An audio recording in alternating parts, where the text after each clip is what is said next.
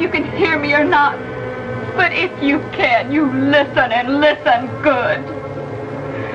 I hate your living guts for what you've done to my husband and my world. I know you for the coward you really are. And I'm going to kill you. Did you hear that? I'm going to kill you. Someone wants to kill my Beth? Mr. Gorman, we're not exactly certain that she is your daughter. But she's got to be. You said this Florence Miller was not her mother. Well, well, that's the problem, Mr. Gorman. We don't know who she was. Obviously, Florence had something to do with the kidnapping, but I thought since your brother Harvey knew Fenton, maybe he can help us out. My brother Harvey is a bum Oh, He's not a bum. Why are you so down on him? because he doesn't care about anything.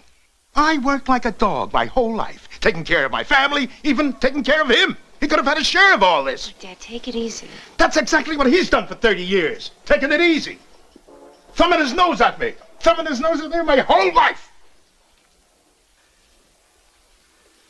Don't talk to him about Harvey. You push all the wrong buttons. I'll take you to him.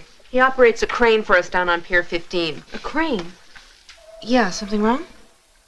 No, not really. Dad, see you later. Come on, I'll show you.